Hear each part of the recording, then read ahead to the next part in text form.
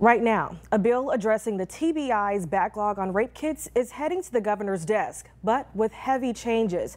Memphis Senator London Lamar filed the bill originally requiring TBI to process rape kits within 30 days of receiving them. The bill is now amended to only require the TBI to report their efforts to hire and train forensic service workers, as well as the average amount of time it takes to process sexual assault evidence collection kits. Right now, the TBI data shows it takes 40 weeks, which is about nine months, to process one sexual assault kit from Jackson, which serves Memphis and the rest of West Tennessee.